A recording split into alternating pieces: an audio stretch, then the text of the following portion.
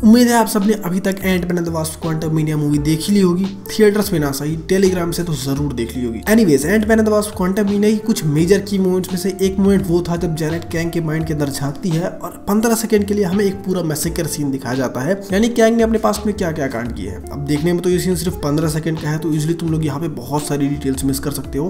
तो आज अपन इसी सीन को frame by frame break down करेंगे और ये जानेंगे कि एक्चुअली कैंग ने पास्ट में कितनी सारी बकचोदियाँ की थी। लेकिन उससे पहले मेरा नाम है अविनाश और अगर तुम ऐसे ही मूवीज़ और सुपर हीरो रिलेटेड स्टफ़ में इंटरेस्टेड हो तो तुम चैनल को सब्सक्राइब कर सकते हो।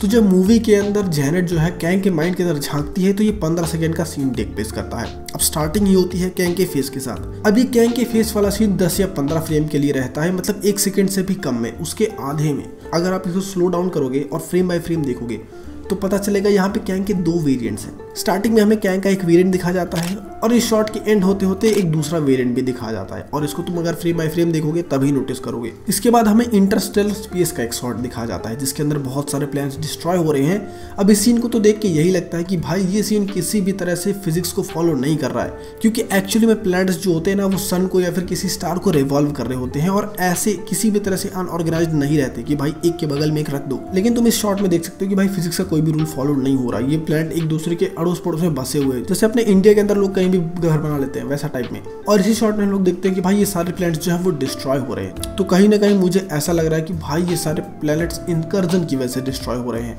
जो कि सीक्रेट वॉर्स के लिए एक मेजर प्लॉट होगा। अब इसके बारे में एक क्रेजी थ्योरी है मेरे पास, जिसके बारे में मैं आगे बात करता हूँ। लेकिन उससे पहले आगे का सीन देखते हैं। अब नेक्स्ट शॉट में हमें एक प्लैनेट का क्लोजअप शॉट दिखता है, जो कि शायद डिस्ट्रॉय हो रहा है। और उसको डिस्ट्रॉय करने वाली एनर्जी ब्लू कलर की है, लेकिन उसके सेंटर में रेड कलर का एनर्जी फ्लो हो रहा है।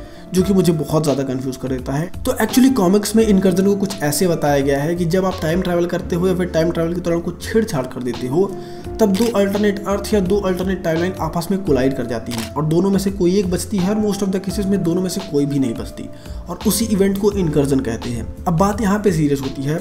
जब लोगों को पता चलता है कि भाई उनकी अर्थ और एक अल्टरनेट अर्थ का इनकर्जन होने वाला है, तब दोनों अर्थ यानी कि दोनों अल्टरनेट टाइमलाइंस की जो सुपर हीरो टीम्स रहती हैं, वो दोनों आपस में बैटल करती हैं और जो जीतता है वो सामने वाले के प्लेनेट को डिस्ट्रॉय कर देता है, सामने वाले की पूरी टाइमलाइन को डिस्ट्रॉय कर देता है, जिससे इनकर्जन ना हो।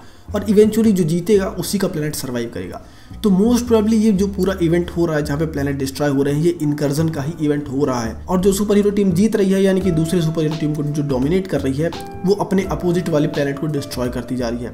एंड इवेंचुअली ये पूरा सीन हमें सीक्रेट वॉर्स के अंदर शायद एक्सपैंड करके दिखाया जाए, जहाँ पे जो डोमिनेटिंग टीम होगी, वह वो सारे प्लैनेट्स को डिस्ट्रॉय करती जाएगी, जिसका भी इनकर्जन उसके साथ होगा। एंड इवेंचुअली मूवी के क्लाइमेक्स आते आते अर्थ 616 के साथ उसी डोमिनेटिंग टीम का कोलेजन हो। एंड जिसके बाद अपने अर्थ 616 के जितने भी सुपर हीरोज हैं, वो टीम अप करे और उस डोमिनेटिंग वाली टीम को हरा कर ये पूरा इनकर्जन रोके और सब कुछ रिबूट कर दे। अब हाँ ऐसे बहुत से पहले रूमर्स भी आ रहे थे कि सीक्रेट वॉर्स के बाद शायद एमसीयू रिबूट हो जाए। तो इस पॉइंट के बाद ये थ्योरी और भी ज़्यादा सेंस बनाती है। बाकी तुम्हें क्या लगता है इस बारे में? तुम ओपिनियन ओपिनियंस कॉमेंट्स में बता सकते हो। वहीं अगर हम आगे का सीन देखें तो वहाँ पे कैंग किसी सिविलाइजेशन पे अकेले ही अटैक कर रहा है। अब इस शॉट में तुम देख सकते हो कि भाई कैंग फुल रेज मोड में अपने आर्मर पहने हुए भयंकर तरीके से अपनी पावर्स यूज़ कर रहा है और पूरी सिविलाइजेशन को डिस्ट्रॉय कर रहा है। और इसके नेक्स्ट शॉट में कैंग चीखते हुए हमें दिखता है, जहाँ वो चिल्ला रहा होता है और अपनी पावर्स को फुल पोटेंशियल पे शायद यूज़ कर रहा है, जिसकी वजह से वहाँ के आसपास के लोग सारे वेपराइज हो रहे हैं। अब इस जगह पे जो इवेंट चल रहा है, जहाँ पे कैंग सबको वेपराइज कर रहा है, चीखते हुए वो शायद तुम्हें हिला के रख दे। अगर तुम शॉट बाई शॉट देखोगे तो यहाँ पे जितने भी बंदे हैं वो सब तुम्हें कैंग जैसे ही दिखेंगे। जैसे तुम इस फ्रेम में देख सकते हो कि ये बंदा इस अटैक से दौड़ने की कोशिश कर रहा है, यानी कि दूर जाने की कोशिश कर रहा है। अब इसकी सिर्फ़ हमें शेडो दिख रही है क्योंकि लाइट बहुत ज़्यादा है। तो तुम अगर इसके फेस पे गौर करोगे तो भाई इसका फेस कट तुम्हें जॉनथन मेजर जैसा लगेगा। यही नहीं, इसके अलावा नेक्स्ट बंदा जो हमें दिखाया जाता है सीन के अंदर, जो कि वेपराइज हो जाता है आगे जाके उसका भी फेस कट और इवेंचुअली हेयर स्टाइल भी उसकी जॉनथन मेजर जैसी लग रही है, जिसकी वजह से मुझे ये लगने लगा कि शायद ये काउंसिल ऑफ़ कैंग्स ही है, जिसको कैंग यहाँ पे डिस्ट्रॉय कर रहा है, जिसके बाद जो तीन मेजर कैंग के वेरिएंट्स है, यानी कि अपना रामाटूट इमोटस और सिल्वर सेंचुरियन ये तीनों यही मिलकर इस क्वांटम मीनिया वाले कैंग को क्वांटम रेल में भेज देंगे, जिसके बाद हमें वापस से स्पेस का शॉट दिखा जाता है, जहाँ पे बहुत से प्लैनेट्स पर एक बीम से अटैक किया जा रहा है और उन प्लैनेट को डिस्ट्रॉय किया जा रहा है, जिससे मेरी थ्योरी और भी ज़्यादा स्ट्रांग हो जाती है कि भाई ये चीज़ कोई ना कोई तो कर रहा है मतलब इनकर्जन को रोकने के लिए कोई सामने वाले अल्टरनेट टाइमलाइन वाले अर्थ को डिस्ट्रॉय कर रहा है। अब हो सकता है कि कैंग ही ऐसा कर रहा हो अपनी चेयर या फिर अपनी पावर्स की मदद से, क्योंकि वो भी इवेंचुअली इनकर्जन को रोकना चाहता है, और अगर वो अल्टरनेट टाइमलाइंस को ही मिटा देगा तो उसके अल्टरनेट वेरिएंट्स भी एग्जिस्ट नहीं करेंगे तो वो मल्टीवर्स को अकेले ही रूल करेगा।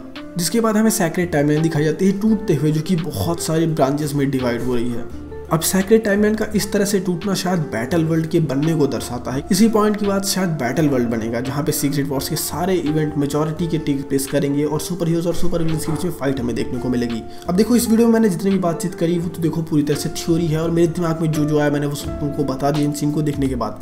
अगर तुम्हारे पास ऐसा ही कोई ओपिनियन या फिर ऐसी कोई तगड़ी थ्योरी है, तुम कमेंट सेक्शन में बता देना। अपन लोग डिस्कस कर लेंगे उसको नेक्स्ट वीडियो के अंदर। और अगर वीडियो पसंद आए तो लाइक कर सकते हो, दोस्तों के साथ शेयर ज़रूर करना। और अगर ऐसे ही इंटरेस्टिंग वीडियोज़ और देखना चाहते हो तो चैनल को सब्सक्राइब करके बेल आइकन दबा सकते हो। बाकी मेरा नाम है अविनाश और मैं मिलूँगा आपसे किसी और दिन ऐसी अमेजिंग वीडियो के साथ। तब तक के लिए गुड बाय